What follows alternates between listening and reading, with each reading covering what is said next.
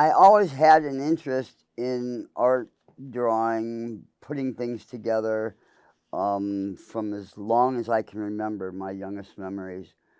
As I grew up, I realized you couldn't really count on becoming an artist professionally.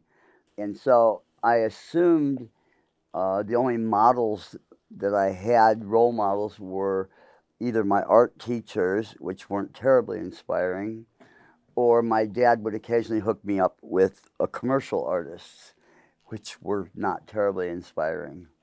I couldn't really imagine having a job or anything except as an art teacher. My dad would ask, you know, what are your plans? I'd say, I guess I'll be an art teacher. And he would say, You've got pretty expensive tastes for an art teacher. I went to school in Kansas City. They were the only place that accepted me, the only college at the Art Institute there. I was there for about a year and a half in the painting department, and my paintings were becoming much more three dimensional. And I was about to switch over to sculpture and then decided just to switch to California, uh, where my two best friends were already living in the Haight, and it was the time of everybody, the hippie movement to California. So I moved out here uh, living in Larkspur, California, which was a particularly interesting place. Uh, my neighbors were um, a lot of famous musicians.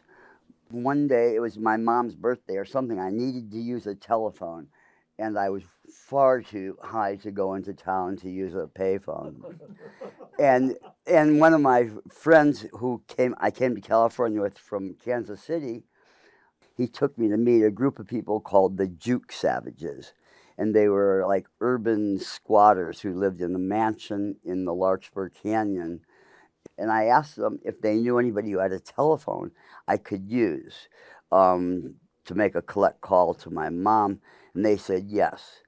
If you go back down to the street and keep walking up the canyon, look up to the right, and you'll see a large three story house that has two large mandalas painted on the front of the house and out of the third floor there's a tunnel made out of doors and things and it comes out to a tree house in a ring of redwood trees. And so I, I went up the street and there it was. And then when i got i got to the top um, and, and then i saw oh my god there's a person right here because there was too much so much stuff i was uh, didn't even notice. And i i said um, the Juke Savage guys down the block said that you might let me use your telephone. I want to make a collect call to my mom. And he said, sure. Turned out his name was Dickens 44 Bascom, and that's his real name. And so I, he just kind of toured me around his house, and I'd see things like the entire floor of the kitchen be covered in multicolored epoxies swirled around with rhinestones in it. And when he wanted an egg, he'd just open the window and walk out into a bird cage where he had chickens. And, and everywhere we went, it was just all brand new to me.